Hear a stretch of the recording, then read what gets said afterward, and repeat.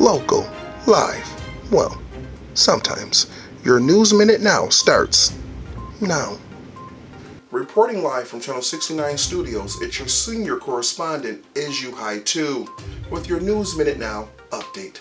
Ladies and gentlemen, this man was just arrested outside of the Hanky Panky strip club nearby, where for police are calling, and I quote, decking bitches in the face. Now, when he was asked, why were you decking strippers in the face? He said it's because they were wearing masks similar to the one in my hand, and they look like the women from Mortal Kombat. And he doesn't like the women on Mortal Kombat because, and I quote, they're always kicking my ass, and I wanted revenge.